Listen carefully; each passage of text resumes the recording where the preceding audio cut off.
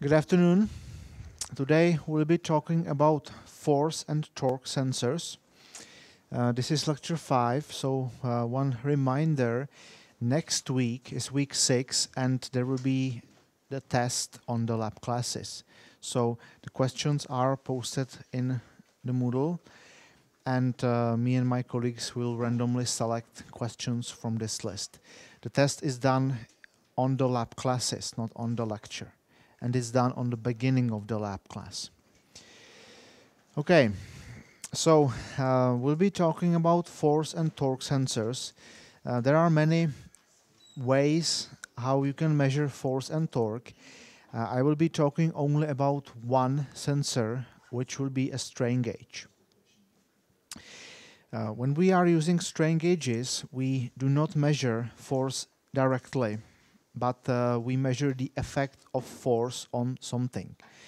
Uh, so we will measure deformation, and uh, this something, this object that is being deformed will be called a load cell. Uh, in some cases, you can place the strain gauges directly on the object. We will also be discussing how to do this.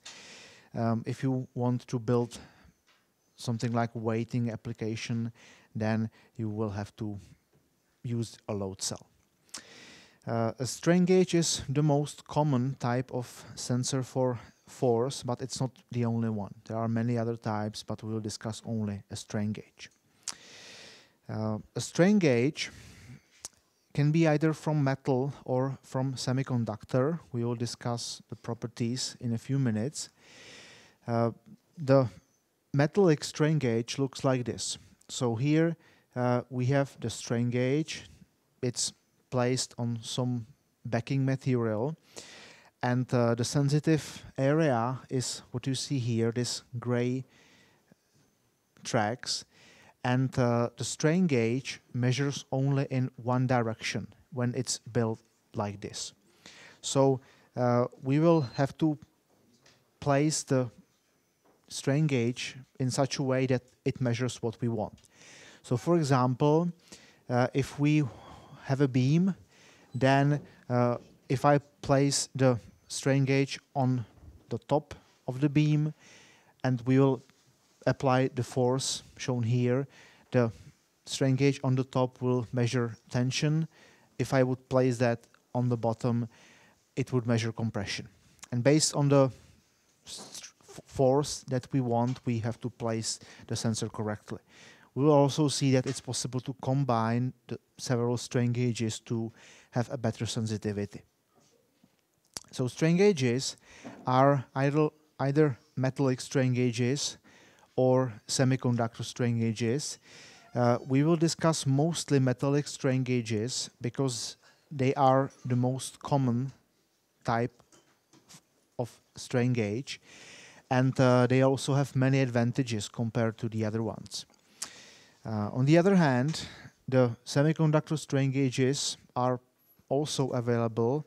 They will have some advantages, but as we will see, they will have also many disadvantages. So then, uh, at the end of this chapter, I will uh, tell you how to select the strain gauge based on some criteria that you will have for the application. Uh, the metallic strain gauge can be either from a wire or from a foil. It works in both cases in the same way. The only difference is how the, the strain gauge is manufactured. Uh, today, almost all strain gauges are foil strain gauges because uh, it's easy to produce them uh, with the same technology like printed circuit boards for electronic circuits. So we will spend most of the time discussing metallic strain gauges. Uh, the wire or the foil strain gauge works in the following way.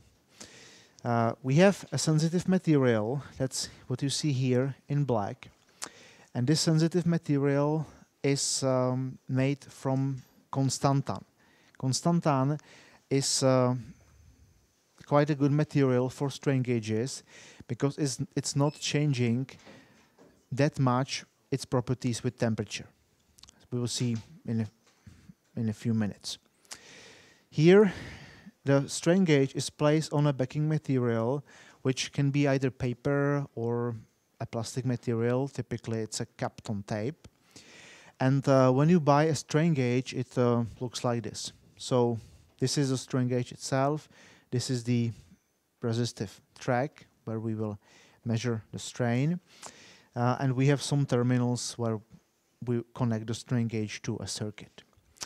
It's uh, typically placed on a, a, tape like this, so you can easily apply the strain gauge uh, on your object, and um, then uh, the strain gauges are typically glued with special glues to the surface. I have some examples here of uh, foil strain gauges. Just a testing sample, it looks like this. So those strain gauges are glued on this metallic sheet. You see the, how the terminals are connected. And um, it works in the same way even if the strain gauge is made from wire. So if it's a wire strain gauge, the only difference is that this resistive track is made from wire. The material is the same, it's Constantan. This strain gauge, as you see it here, measures strain in only one direction. So we want that we have maximum sensitivity in this direction. That's where we will mount the strain gauge. Uh, but in many applications, we need to measure strain in multiple directions. And uh, we want a device that is doing this directly. This device is called a strain gauge rosette and it combines two three or more strain gauges on the same backing material. So for example, here you see a strain gauge rosette with two strain gauges, uh, angle 90 degrees. Here you see a strain gauge rosette with three strain gauges, the angle is 60 degrees. Um, those strain gauge rosettes, they allow us to measure the direction of uh, an unknown stress. Maybe you know from other topics that uh, if you measure the direction, well, measure the strains in three independent directions with angle of 120 degrees, then you may calculate the main stresses and their directions. So this is what a strain gauge rosette is for. You can see different types. Uh, this strain gauge rosette, you see it also over here, is uh, used to measure residual stress after heat treatment. So if you have an object, you make some heat treatment of the surface, then uh, typically we have some residual stress that remains in the object after this treatment. So if you want to measure it, you can uh, install a strain gauge rosette on the surface, you can glue it, and then uh, you mill a small hole in the middle of the rosette. This releases the stress and you can measure it. Of course, you make a small notch in the object, but uh, you have the information about the stress. I'll be talking more about the applications at the end. So, uh, how does a strain gauge work? Uh, we are using the fact that electrical resistance is uh, changing with dimensions. So if you imagine uh, we have a strain gauge that look like this. Initially, force is zero. We have some length of the foil or of the wire. Uh, we have some cross section and we know what is the material. So the electrical resistance is simply calculated by this formula. This is resistivity, cross section and length. If I apply force to the strain gauge, let's say it will be tension, I will increase the length of the strain gauge and uh, I will change the resistance. So there will be some very small change of length. This this uh, change is really very small. It's like typically a few micrometers. Uh, and uh, this will have an effect on uh, the electrical resistance, which you see here. Of course, if I make something longer, I will decrease the cross section. So there will be also a smaller cross section in this case. It will also have an effect on the resistance. And uh, additionally, there, there will be also an effect on resistivity. So all those three will vary with the applied force. The same will happen if I apply compression. I will make it shorter but thicker and I will change electrical resistance. So we will look for the dependence between electric resistance and strain. Usually uh, we are not looking for this dependence directly because we are not interested into measuring the initial resistance of the strain gauge. We don't need that. We just want to get this dependence. So how much is the electrical resistance changing if I apply strain? So if you look on this formula, now we will need all three components uh, and we will calculate some partial derivatives. So uh, I'm looking for a dependence between change of electrical resistance versus strain. Now if I uh, take the initial formula here, I can calculate partial derivatives of the resistance over resistivity, over cross-section, and over, uh, this is uh, length, cross-section, and resistivity. And the partial derivatives, they look like this. So you see that the change of resistance depends on the change of length, change of cross-section, and change of resistivity. And all those three will be variable. Uh, we can substitute in this formula those individual components. Uh, we can simplify the equation because uh, there is a relation between cross-section and length.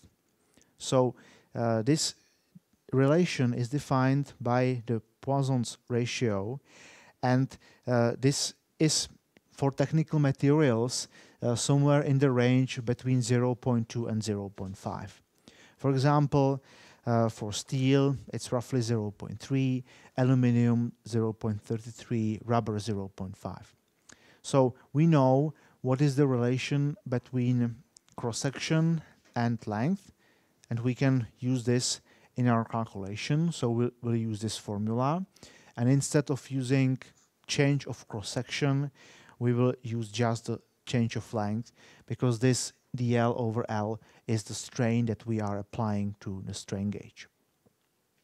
So when you do all this, uh, you will find out that uh, the change of resistance depends on the resistivity, it depends on strain, and this is uh, the Poisson's ratio, which is defined by the material.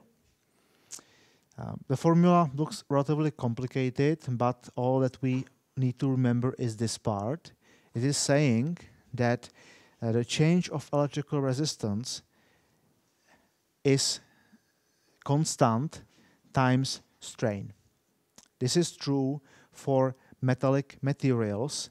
Metallic materials, uh, they have uh, this part of the equation that's the most important, that's the biggest one and uh, it means that uh, for metallic materials the properties or resistance change with pure geometry. It means uh, that we are changing dimensions and dimensions have an effect on resistance.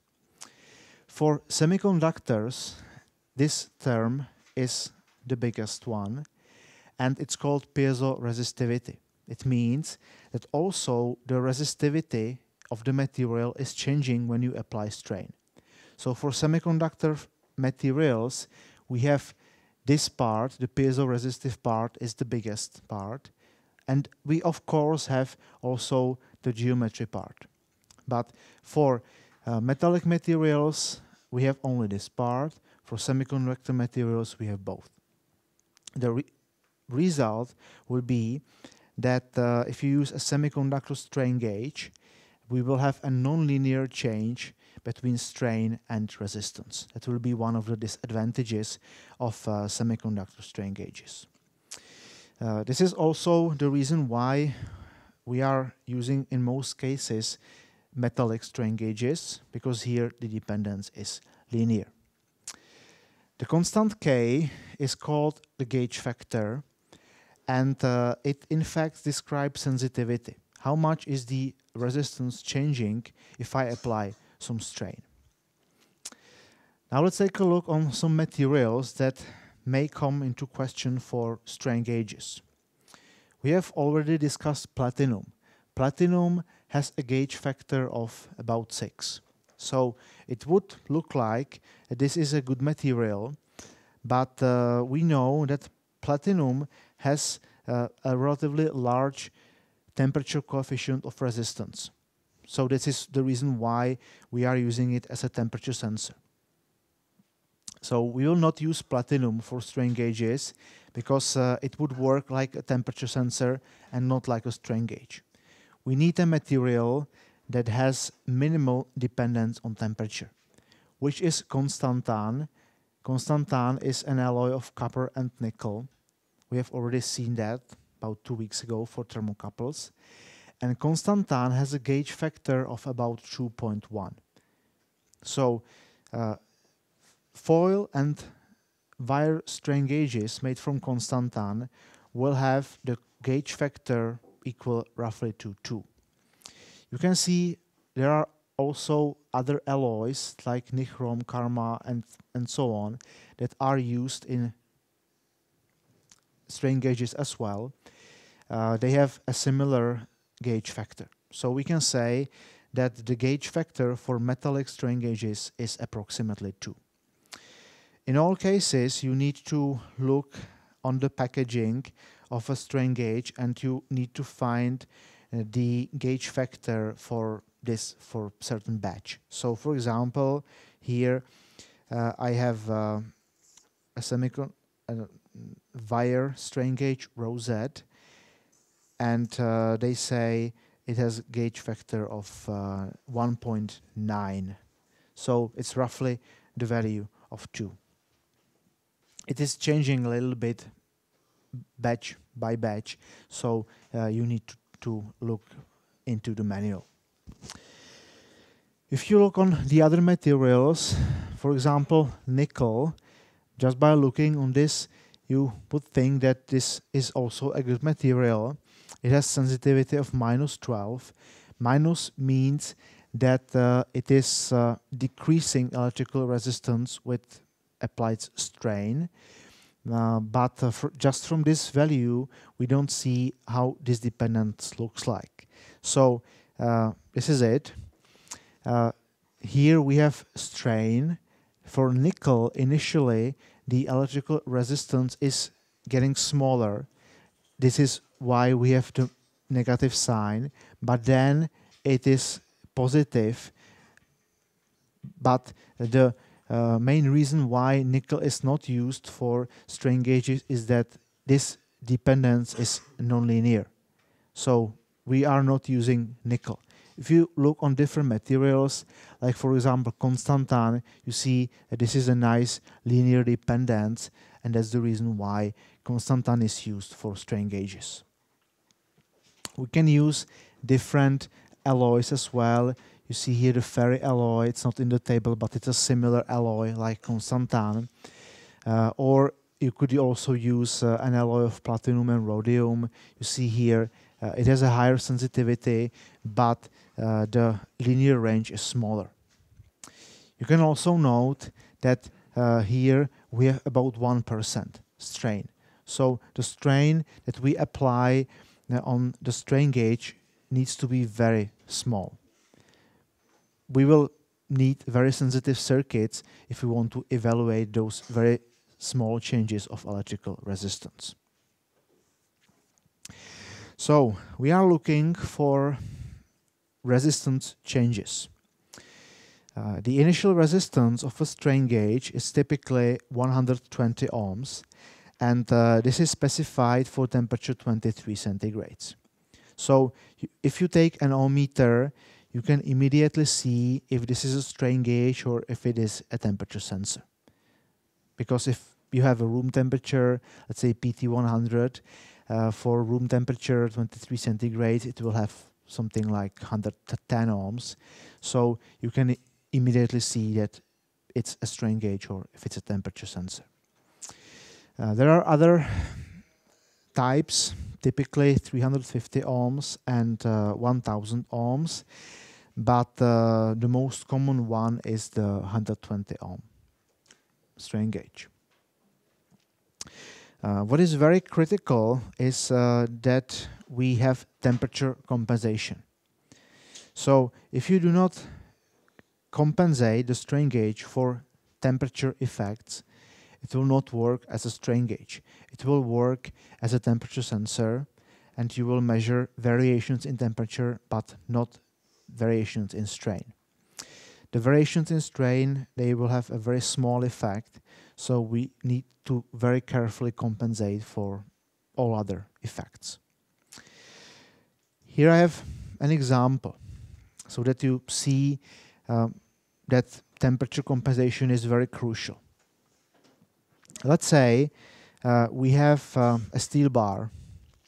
The steel bar has a cross section of one square centimeter and we will apply a force of 1000 Newton.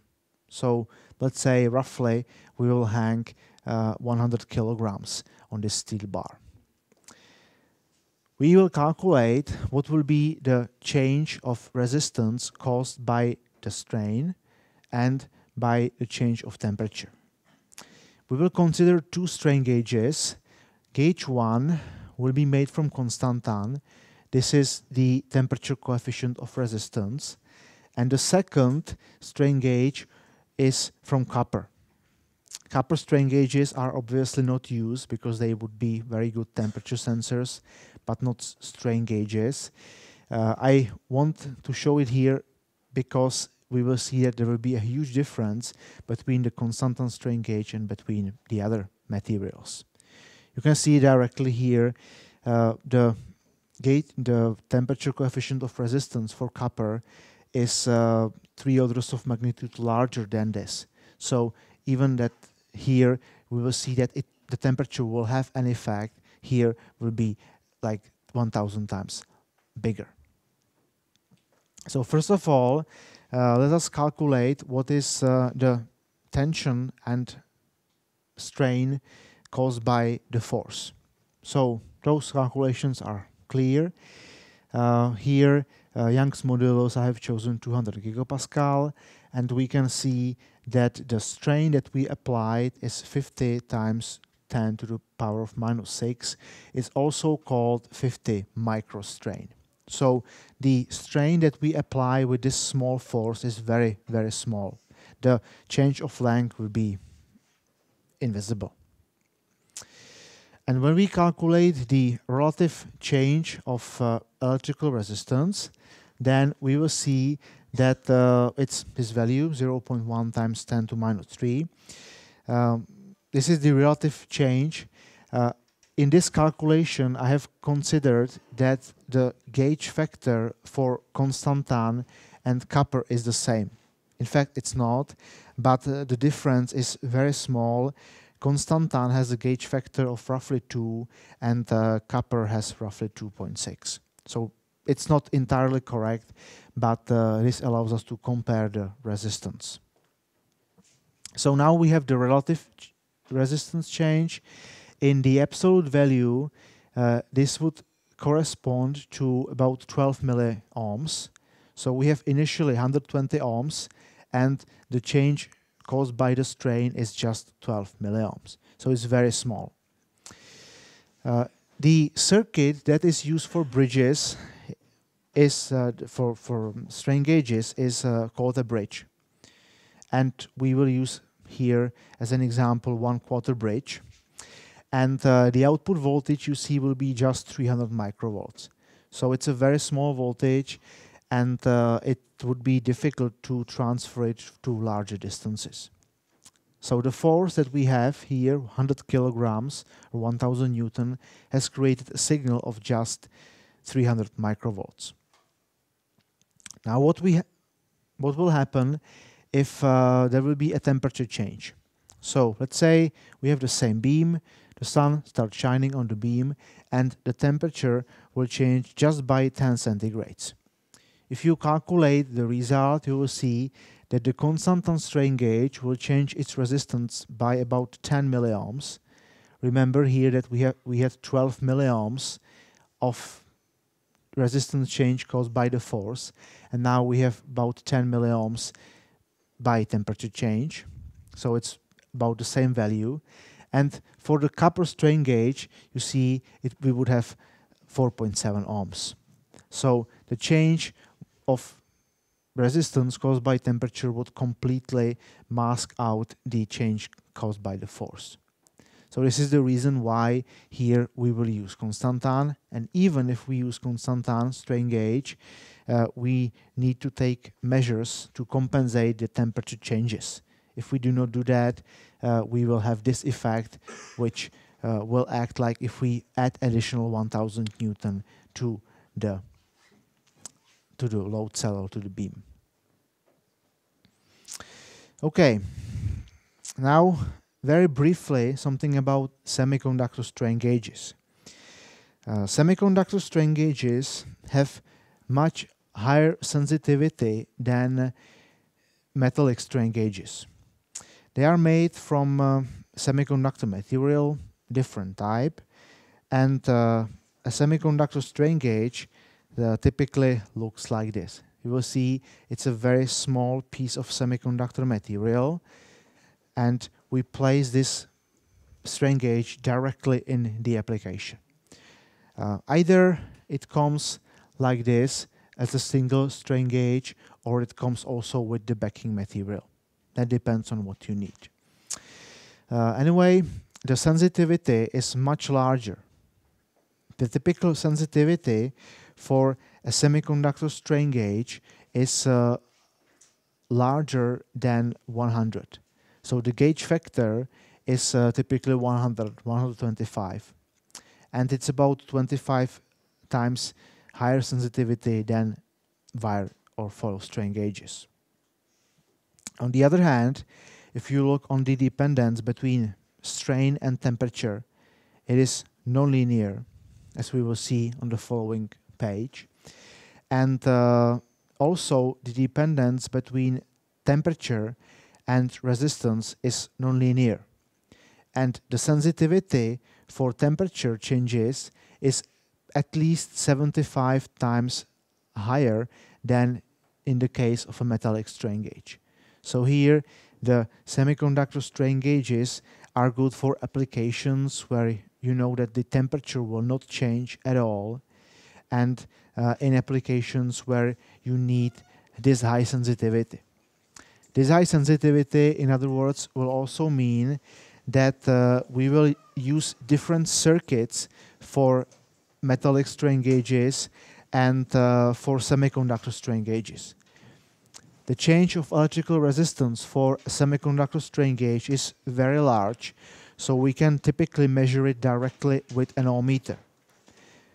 You cannot use an ohmmeter in case of a metallic strain gauge. So in a metallic strain gauge, we will need bridges.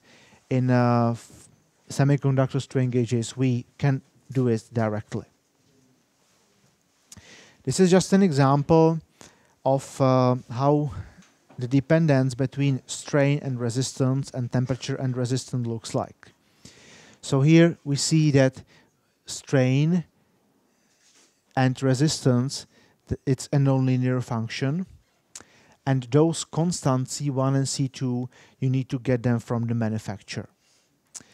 Uh, the same happens also for the temperature. So here you have constants A and B, and again it's a nonlinear dependence.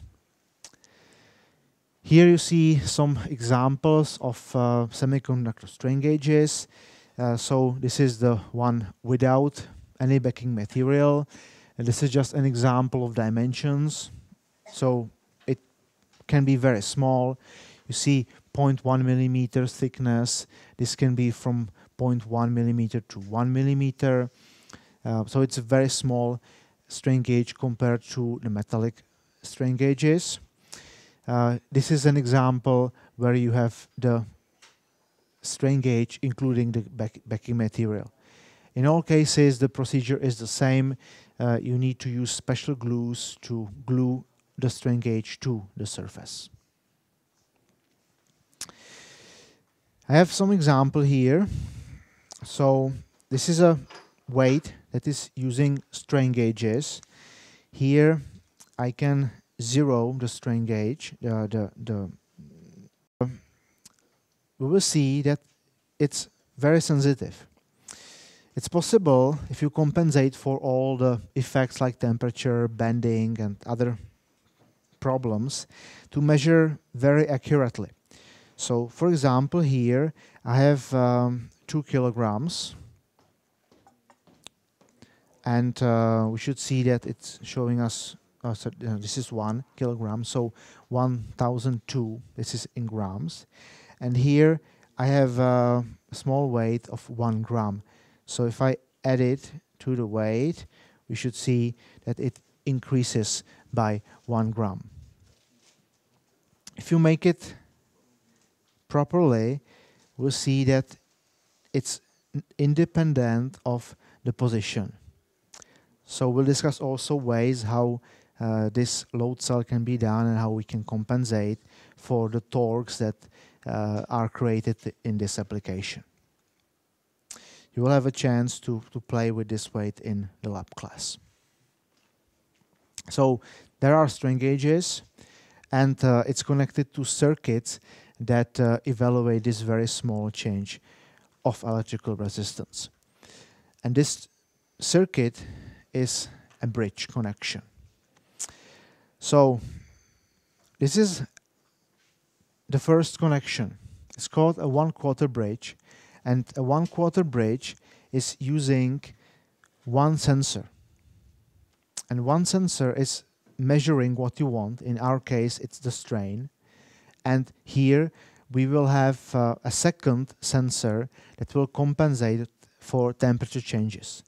So from the measurement point of view, this is a one quarter bridge because we are using one sensor only.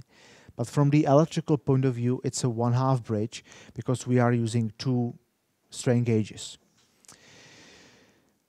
The bridge connection typically is made in such a way that you have the initial resistance in the bridge the same.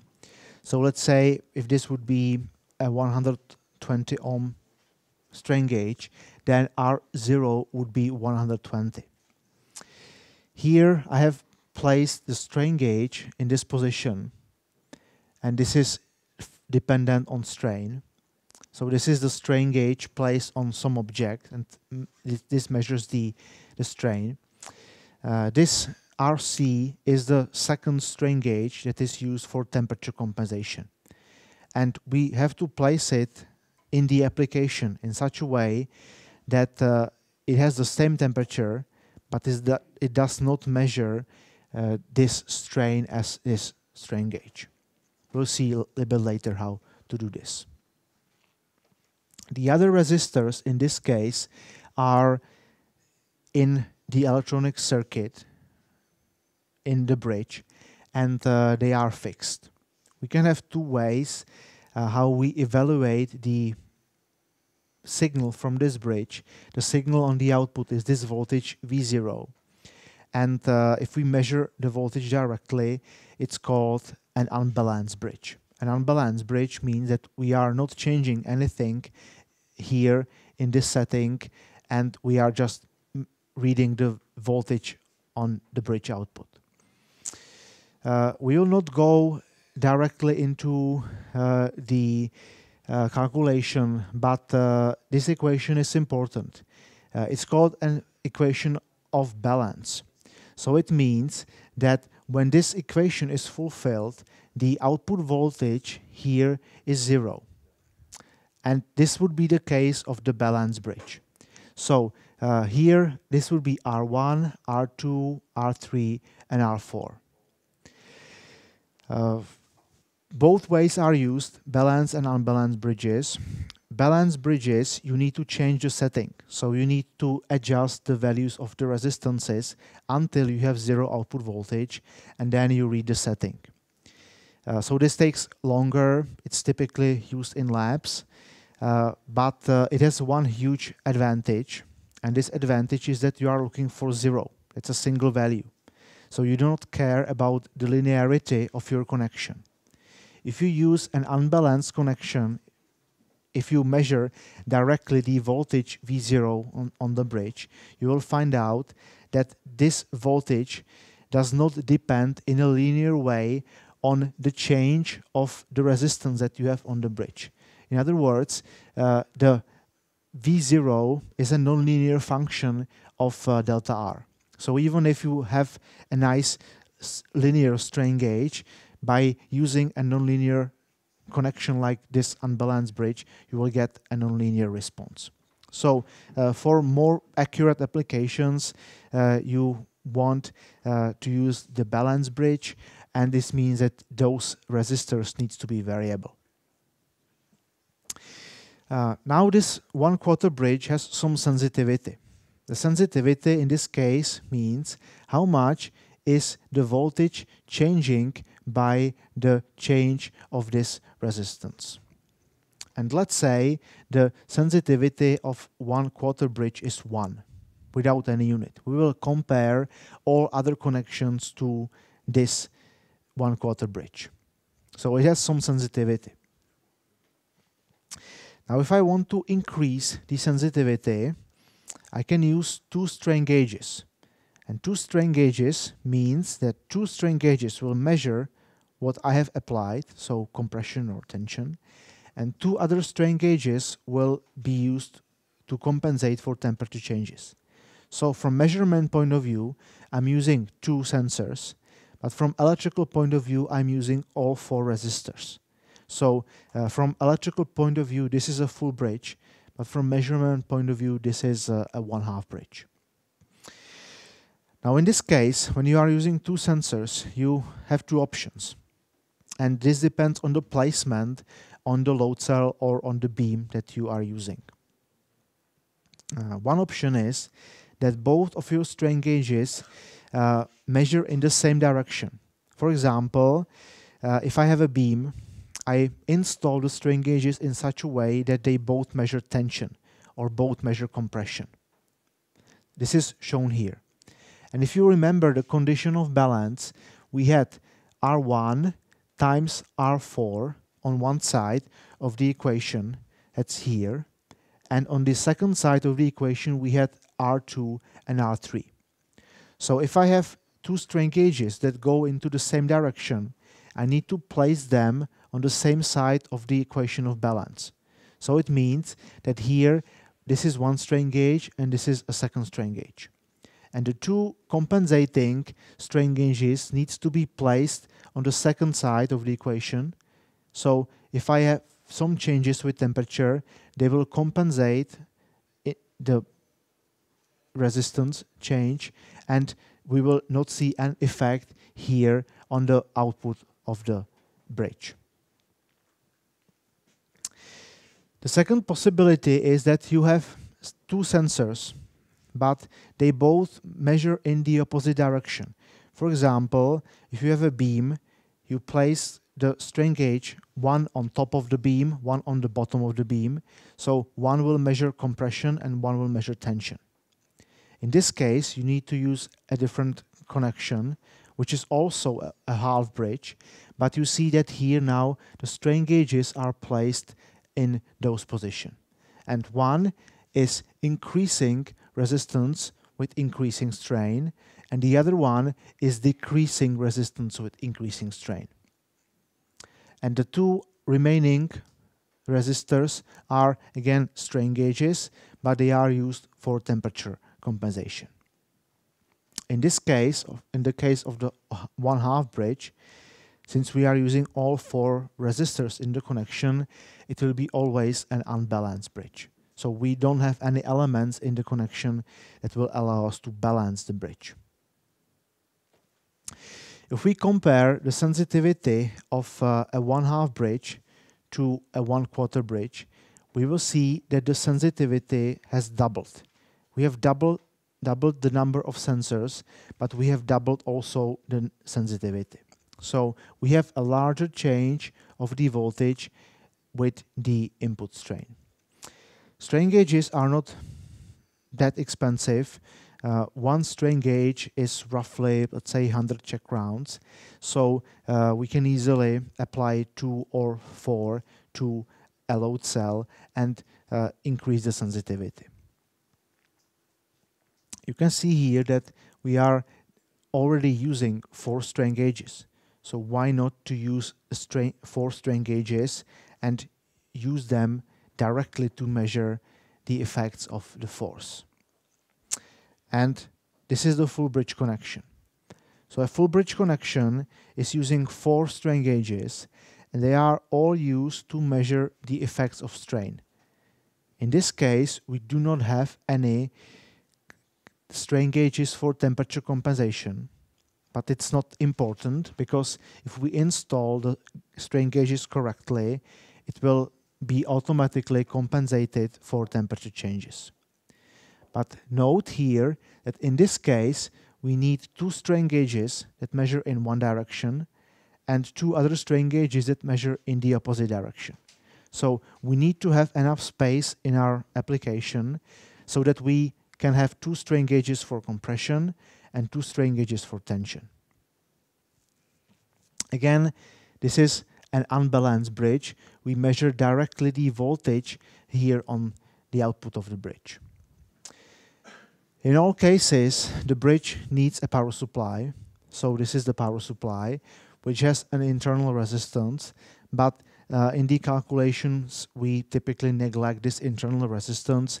Uh, this is uh, typically much smaller than the value we have in, in the strain gauges. So this is 120 ohms roughly. This can be like 1 ohm, for example. So in the calculations, we are typically neglecting that. Now, if you compare the full bridge with all the other connections, you will find out that, a full bridge has four times sensitivity compared to one quarter bridge and two times sensitivity compared to one half bridge. So if I have place only for one sensor, I will use one quarter bridge. I need temperature compensation. If I want high sensitivity, I can use uh, the full bridge connection if I have enough space in the application. Um, typically, all weighting applications are using full bridges. So it is this connection you use four strain gauges installed somehow on the load cell and you have high sensitivity and the temperature effects are automatically compensated. Now, uh, this is just to give you an idea about the changes of resistance that we have uh, in strain gauge applications. So uh, it's an example of a beam, a full bridge. You see four strain gauges to measure compression, to measure tension. And uh, this is calculated for the 350 ohms strain gauge. Uh, the power supply typically is 5 to 12 volts and uh, this is the output voltage. So even if you have um, a full bridge connection, this voltage on the output is few millivolts. So you need a DC amplifier uh, to, to yeah, amplify the voltage. If you would transfer this voltage to a larger distance, you would pick up some noise and that can cause you trouble. Uh, you cannot increase the voltage to much higher levels uh, because the increasing the voltage means that you are also increasing the current in uh, the strain gauges. And uh, too high current would cause you self-heating of the strain gauge and uh, we want to compensate all the changes of temperature. Some questions so far? Okay. So now let's talk a little bit about how to place the strain gauges in our application. We are placing the strain gauges on load cells or directly on the object. The load cell uh, typically has a shape of a beam or some other shape and uh, we want to compensate all the effects of temperature and torques that we do not want to measure. This is an example how you should place the strain gauges in a full bridge connection if you want to measure axial force. So let's say we have a beam here and I want to measure this force and I want to compensate for the bending force, for eventual torque and of course I want to compensate for temperature changes. Here you see what is the arrangement of resistors in the bridge. So R1, R2, R3, R4. So if you take a look on this picture, you see that R1 and R2 are oriented in this direction. So they measure the axial force. Now, if I apply axial force, we, they will both measure tension. If I apply bending force, this will measure tension and this will measure compression. But if we write the equation of balance for our bridge, which is R1 times R4 equals R2 times R3, we see that the force FB in R1, let's say, has increased the resistance. So there is an increase here. But in R4, we have a decrease. And we are taking into account that this is the same value. So we have added something here and we have subtracted something from R4. So the bridge will stay in balance. So force FB will not have an effect on the bridge output voltage. The same will happen also for torque. So for torque, uh, we use R2 and R3.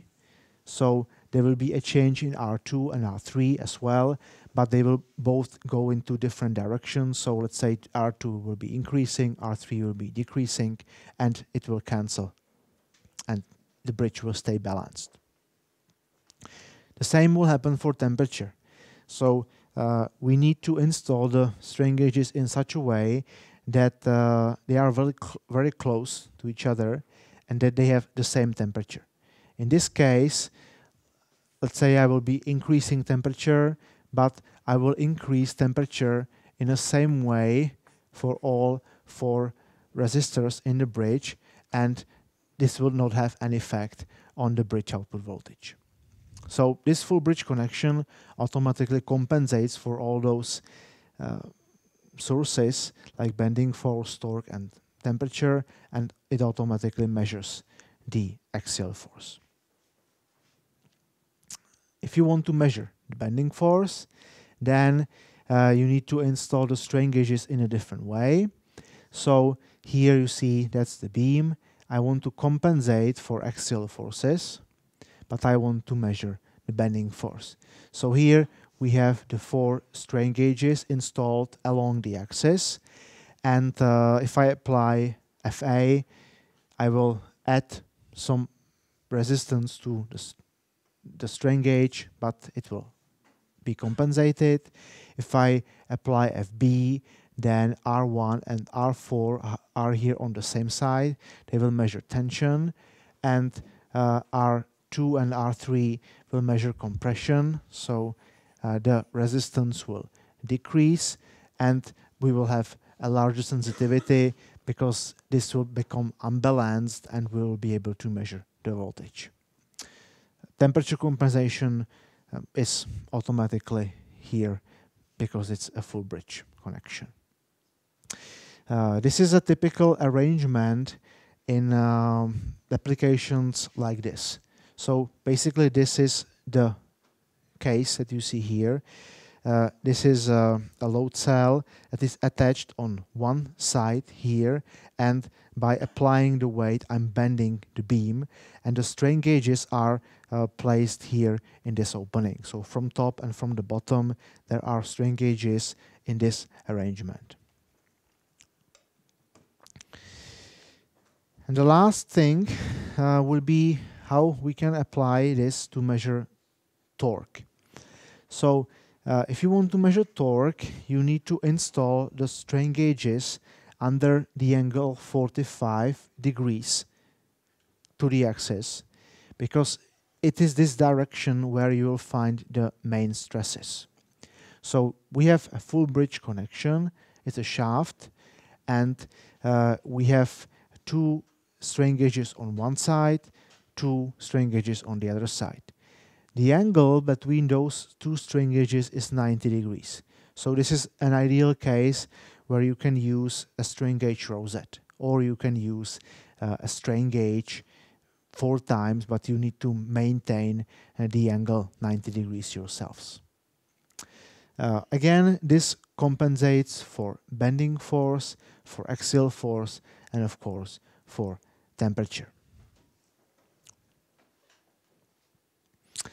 So now let's take a look on some applications. Strain gauges are typically installed on load cells and load cells are in applications like this, like weighting applications, and we use them to measure forces on, on the beams. Uh, there are several types of load cells. We'll discuss just, I think, uh, let me see, just three of them. Uh, different load cells are used in different ranges. Uh, what you see here, the S-type load cell, is uh, some somewhere in the middle range. So it's not for really large forces, but not for very small forces. How does it work? Here you see the shape, S-type load cell, letter S, and uh, the strain gauges are placed here in the middle of the load cell. When I apply force, there will be a deformation and we will measure this deformation uh, in the load cell. Now this area here and this area here helps us to protect the load cell against overload.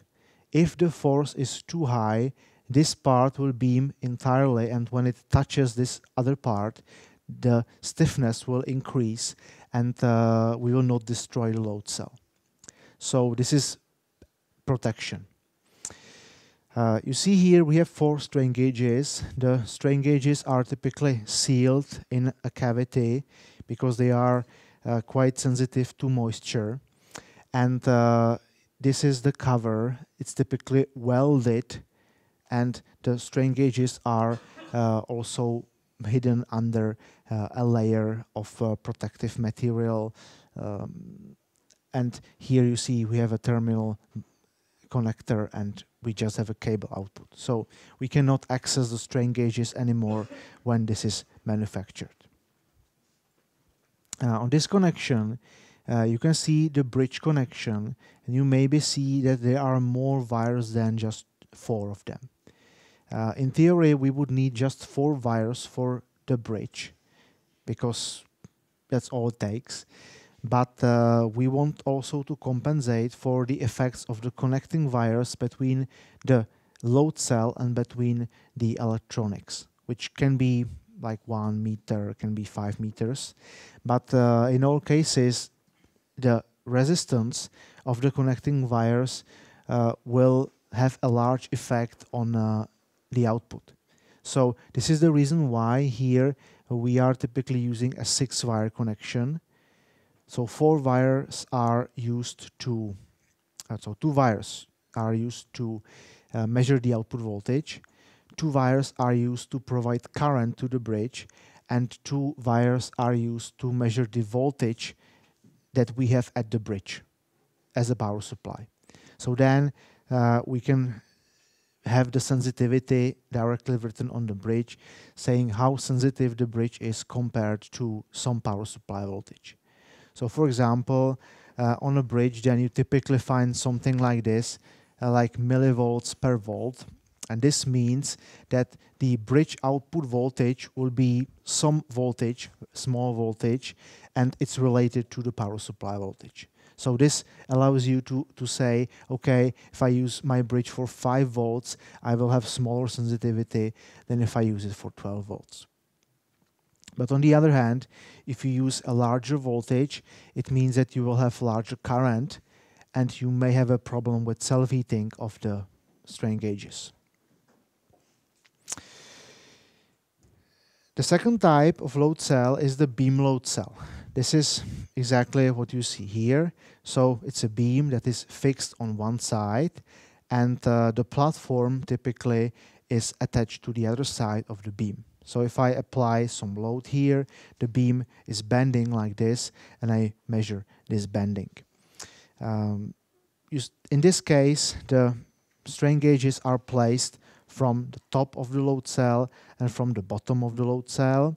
So uh, they are placed here in this cavity. So On top there are strain gauges and on the bottom there are strain gauges. In the case of this application, uh, it's visible, but typically in uh, weights you will find that this is welded. Again, we need some protection against moisture. So in this case, this would be the area where you connect the platform. Uh, in this position, you would connect some frame uh, and the beam will bend downwards here with the applied weight. Uh, the beam load cells are typically uh, used for smaller weights or smaller forces uh, compared to the S-type load cells. Although not exclusively, this is used typically for smaller forces. And this, the last type is uh, the compression load cell. The compression load cell uses only compression. So internally, it's uh, a vertical piece of material and the strain gauges are oriented here in this vertical direction. So strain gauges would be placed like this. If I apply force, I will apply compression to the material and uh, therefore those compression load cells are typically used for larger forces. If you want to weight a train or a plane, you would you probably use this compression type load cell. I have some examples of uh, applications. So we can do strain analysis with strain gauges um, on rails. So here you see example of rails, example of strain gauges. Um, you can see automotive components like shafts, um, different pins. So here you see different strain gauges. Uh, this allows you to typically verify the calculations or some finite element models uh, with the, an experiment. This is a, an example of, uh, of a bike.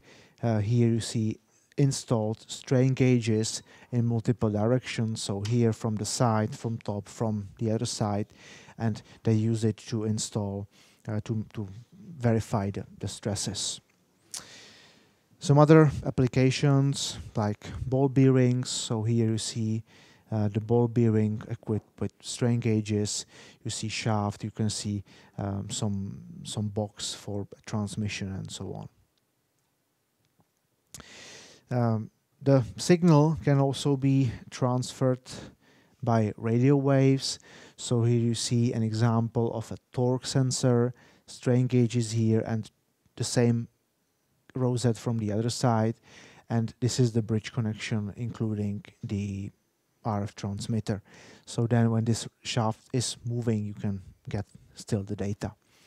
Another example blades for turbine strain gauges installed uh, uh, on the tips here and some cables connecting them to that to the wireless transmitter uh, you are not limited to metallic materials only, so this is an example of strain gauges placed on uh, a composite material. This is a carbon composite material.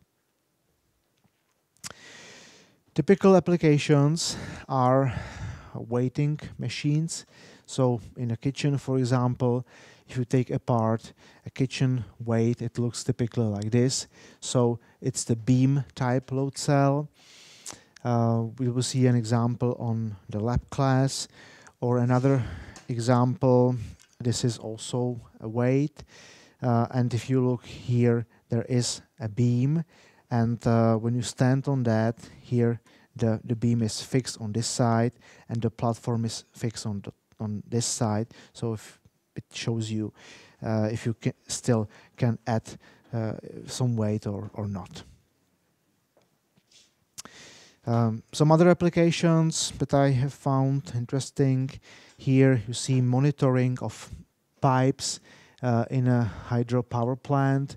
Um, so you see installed strain gauges and uh, those are the covered strain gauges, protection from moisture again. Um, another application is uh, residual stress monitoring. So um, if you have a surface that has been heat treated, you can measure the residual stress. You place that on top of the material uh, and you drill a hole with a defined speed in the defined depth and then this releases the stress into the strain gauge and you can measure it. Of course, you can do it only once. You cannot repeat that. But it, this is a way how you can get residual stresses. And uh, last interesting application, um, when you change something in a plane, like you change the carpets, you change installations, you need to balance the plane again. So um, this is an example, uh, weights under the wheels, they measure how much is the weight of the plane, if it's evenly distributed, and if they should change something to balance the plane correctly. Uh, we'll take a look on a nice video how truck scales are made. You will see the strain gauge manufacturing process from the very beginning. So how the individual strain gauge is produced and then how it's installed in such a large application.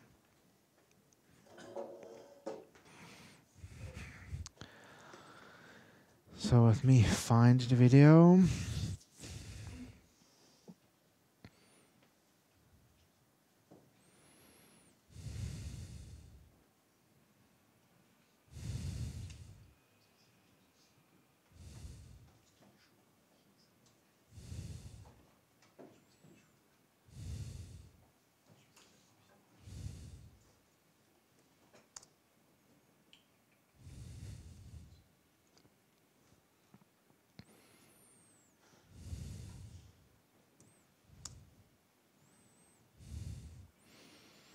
Yeah. Seems to be some problem with internet access.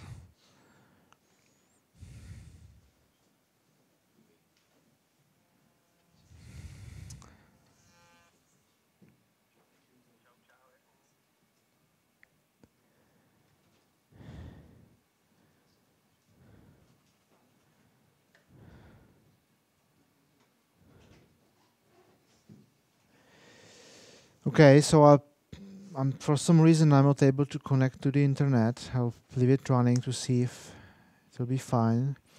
Um, we'll continue a little bit and then I'll try to come back.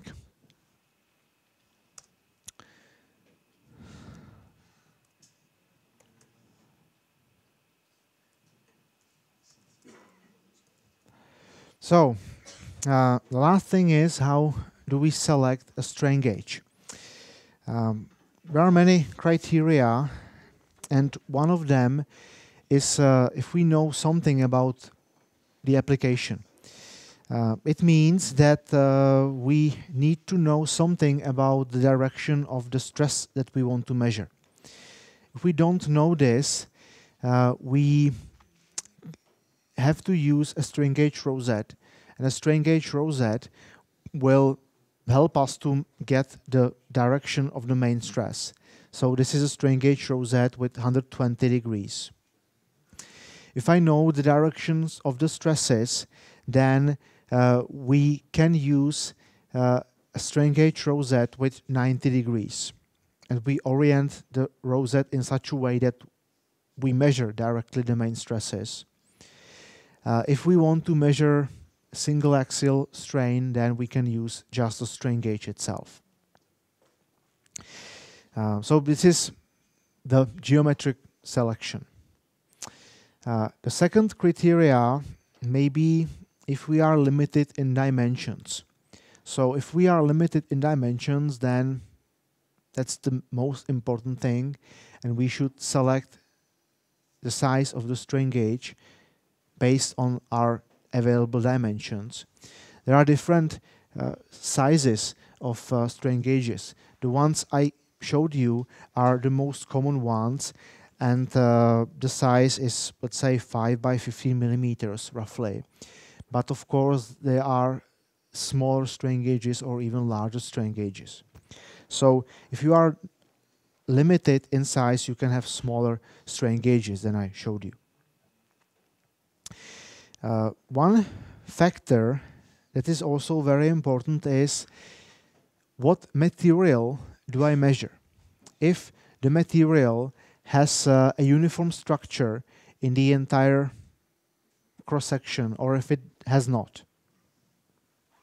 So uh, if you have this kind of material that has uniform structure, then uh, the length is determined by the strain field that you want to measure. In other words, uh, the strain gauge measures the strain along its whole length. So for example, if uh, you have a material that looks like this, that has different grains with different properties, then you should select a longer strain gauge because this will uh, give you a better estimate of the average. So uh, you should select the grid length to be at least five times larger than the inhomogeneity size, the particle size that you have. So for example, if this would be uh, some mixture of two materials, you have to select a larger strain gauge. If you do this, this would be incorrect because here you don't know what do you measure. Do I measure uh, the strain in this material or in the other material? So the length of the strain gauge will give us an average. Uh, of course, if you are limited by length or weight, you have to select what will fit and you have an example like this, uh, a shaft with a small notch here and the size will limit me the size of the strain gauge. Uh, by the way, this is a good example where you may use the semiconductor strain gauges because they are significantly smaller compared to all the metallic strain gauges. Questions? Okay, so the last topic for today is torque sensors. As we have already seen, if I install the strain gauges correctly, I can measure torque, so I can build a torque sensor. So a torque sensor will be equipped with four strain gauges at least, and uh, they are arranged under 45 degrees along the axis. We compensate for temperature, for bending, for axial forces. And the only question is, how do I get the signal out from the bridge or how do I get the power into the bridge? So typically, uh, we are using uh, a kind of transformer to power the bridge through inductive coupling. So uh, there is a winding around this part of the shaft which transfers the power as a transformer into the rotor. Here uh, we have uh, a pulse to DC converter which uh, is like a rectifier. So you use a relatively high frequency here uh, to improve the efficiency. And here you have a DC power supply. Use it for the bridge. Then the bridge gives you a signal and you need to get the signal out to some unit. So uh, you can do a wireless transfer, for example, uh, or you can again transfer the DC voltage to pulses and you can transfer them to, through capacitive coupling or through inductive coupling with some other winding. So uh, this is how it's done in torque sensors that they typically typically look like this. So then the rotating part connect that to your between the motor and between between the load and inside uh, we have the strain gauges and uh, we have some way how the data is transferred from the rotating part to the stator. Uh, torque sensors are typically very expensive. Uh, this sensor is about 8,000 euros, so it's quite quite expensive. Uh, you can see um, the price roughly. Uh, there is a huge difference between sensors for fixed applications and for rotary applications. So for fixed applications, it's not that bad. Fixed applications means there's no rotational movement, um, but uh, you have a flange and you connect it between the load and the source of the torque. Uh, rotary applications are typically more expensive, like 10 times at least. And uh, here you see an example of a torque sensor. Uh, it's using the same principle. Here you connect the shaft between the load and the, and the motor and it's using some way of data transmission, either wireless or the inductive or capacitive coupling. Uh, some examples. So um, in our labs you may see applications like this. So uh, induction motor, torque sensor and some form of load. Um, this is quite interesting. Uh, sensor for 1.5 meganewton meters used to measure torques in uh, ships. So can measure even, even very large torques. Now let me try the video if it works.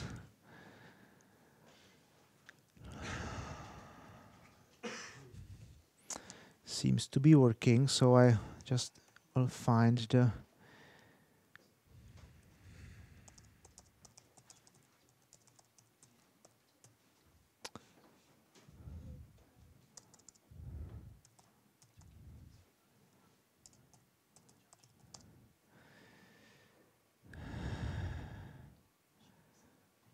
Okay, so let's let's see.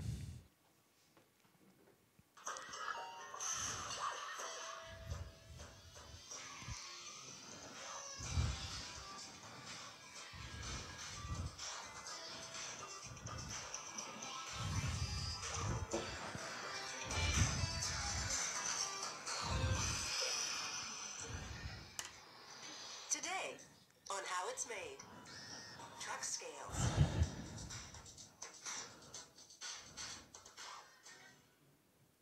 At a highway weigh station, inspectors weigh each transport truck on a road level scale to calculate taxes on the goods it's hauling and to make sure the load doesn't exceed safety limits. You also find truck scales at grain silos, quarries, and other sites that move bulk products.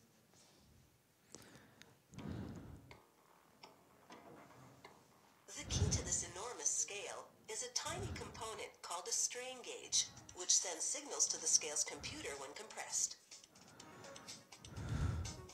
They make the strain gauges from a laminate by bonding paper-thin sheets of nickel iron foil, epoxy, and Teflon in a press. Then they coat the laminate in a light-sensitive chemical and apply a plastic film with an image of strain gauges in negative format. Then they expose the setup to ultraviolet light. The light-sensitive chemical reacts, imprinting the images into the laminate's metal surface. Now they have rows of strain gauges. An inspector examines every gauge and marks any flaws to be discarded. Now a technician measures how much voltage flows through each gauge. If it's too low, she raises it by rubbing off a microscopic amount of surface metal. When the strain gauges are finished, they cut them apart and send them to the load cell department. There, workers delicately tape four strain gauges into each stainless steel load cell. Then they solder electrical wiring to each one. The wires all run to a circuit board at one end of the load cell. And from the load cell, wiring runs to the scale's computer readout. The smallest amount of moisture or dirt would cause a strain gauge to malfunction, so they weld a cup over each one to hermetically seal it within the load cell. Every finished load cell undergoes a quality control check to verify that it works properly. The testing machine applies weight in increments until it hits the maximum weight the cell can bear, 34,000 kilograms or 75,000 pounds.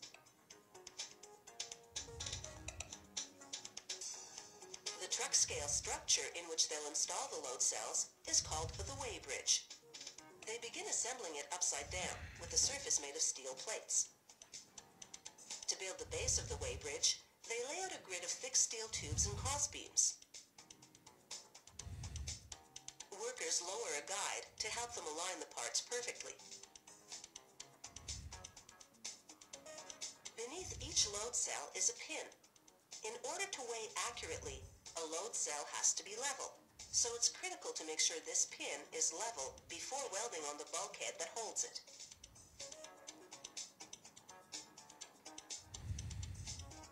Once fully welded, the weighbridge is assembled and ready for painting.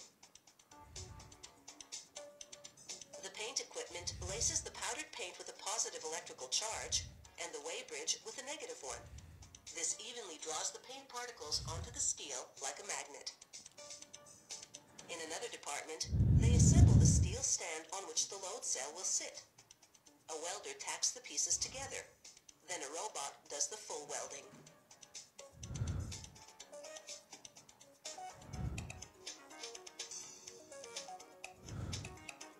Now that all the parts are ready, final assembly of the truck scale can begin. The weighbridge, right side up now, contains eight load cells at different locations. The first step is to install each load cell stand into its respective position. They insert a link on each side of the stand. They position the load cell at the top of the links. And the bulkhead pin at the bottom.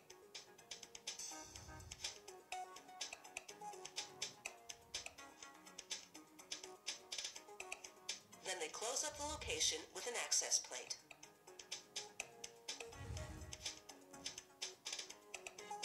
The last step is to calibrate the scale. They lay a 10,000 pound weight, that's more than 4,500 kilos, on different parts of the scale to check if the digital readout is accurate. It takes a lot of time to get a truck scale just right, but it's definitely worth the wait. Okay, questions? Fine.